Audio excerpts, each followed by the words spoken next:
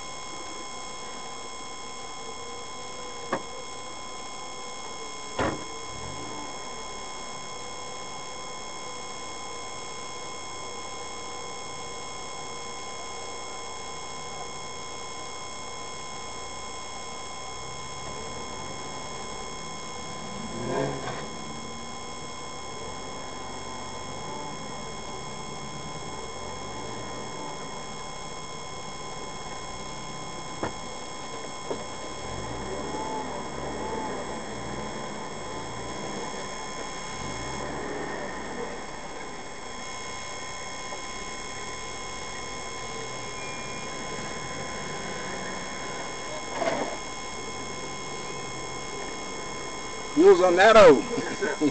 Smart.